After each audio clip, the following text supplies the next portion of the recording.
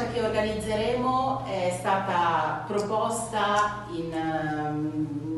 um, proposta da delle associazioni quali Legambiente, Fiabamo la Bici, Velolento e con il supporto anche di Energetica dei cinemaniaci. Noi nella nostra scuola abbiamo iniziato a interessarci a questa iniziativa sotto consiglio del nostro professore Alessandro Sozzi eh, che ci insegna italiano e ci siamo interessati molto, abbiamo voluto coinvolgere eh, anche tutta la scuola, quindi abbiamo diffuso la notizia a tutte le altre classi e abbiamo ricevuto molte adesioni, molte persone erano interessate e questo ci ha fatto molto piacere perché essendo questi Fridays for Future ispirati comunque all'idea di una giovane abbiamo trovato molto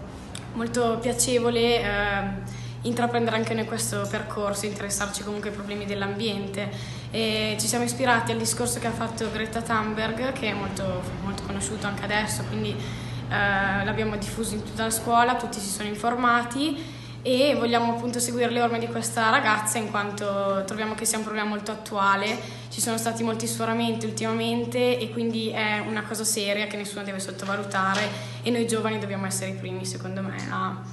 a migliorare la situazione anche con queste piccole cose. Il 15 marzo scendiamo in piazza e combattiamo con tutte le nostre forze per portare avanti la conoscenza e la difesa del nostro pianeta, perché ormai il problema del riscaldamento globale è un problema che non si può più sottovalutare, che non può più essere procrastinato e le conseguenze si stanno facendo sentire pesantemente in tutto il mondo e riguardano la vita di tutti noi e il futuro dei nostri figli.